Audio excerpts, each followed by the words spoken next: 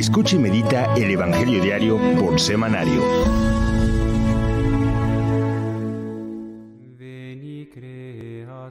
Domingo 27 de marzo. Del Santo Evangelio según San Lucas.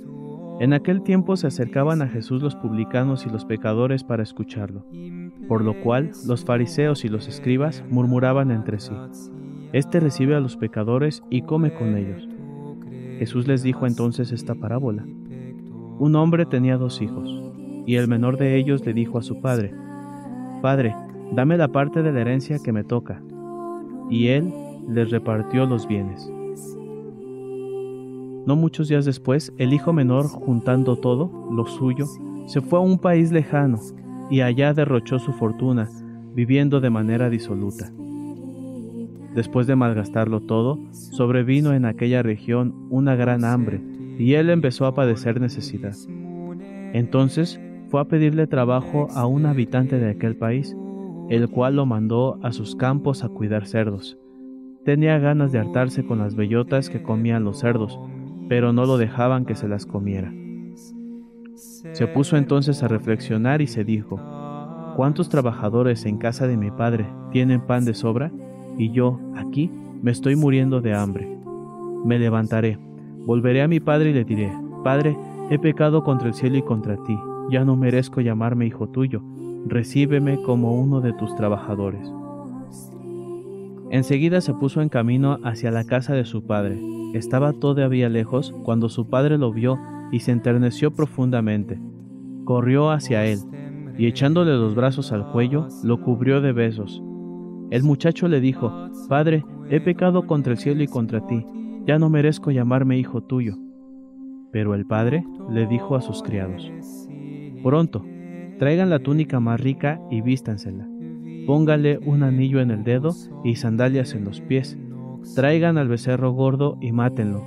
Comamos y hagamos una fiesta, porque este hijo mío estaba muerto y ha vuelto a la vida. Estaba perdido y lo hemos encontrado. Y empezó el banquete. El hijo mayor estaba en el campo, y al volver, cuando se acercó a la casa, oyó la música y los cantos. Entonces llamó a uno de los criados y le preguntó qué pasaba. Este le contestó, Tu hermano ha regresado y tu padre mandó a matar el becerro gordo por haberlo recobrado sano y salvo. El hermano mayor se enojó y no quería entrar. Salió entonces el padre y le rogó que entrara, pero él replicó, Hace tanto tiempo que te sirvo, sin desobedecer jamás una orden tuya, y tú no me has dado nunca ni un cabrito para comérmelo con mis amigos.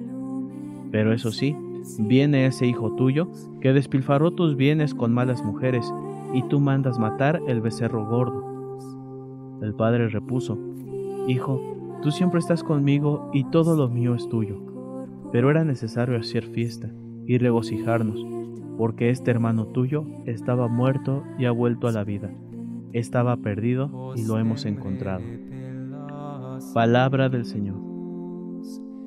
Domingo 27 de marzo. Al seguir avanzando en nuestro recorrido hacia la Pascua, la liturgia de este cuarto domingo de Cuaresma tiene un tono especialmente gozoso. Agradezcámosle al Padre, bondadoso y clemente, el que nos permita volver una vez más a su casa y hacer fiesta, ya que por medio del arrepentimiento sincero de nuestras faltas, estamos seguros de poder alcanzar siempre su perdón y de vivir como criaturas nuevas en Cristo.